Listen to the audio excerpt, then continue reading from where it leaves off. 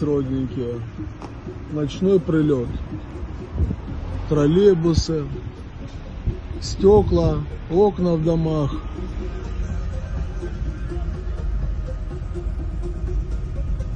Тут у меня ребенок ходил в бассейн. Посмотрите. А вот ебало нахуй. Просто пиздарите.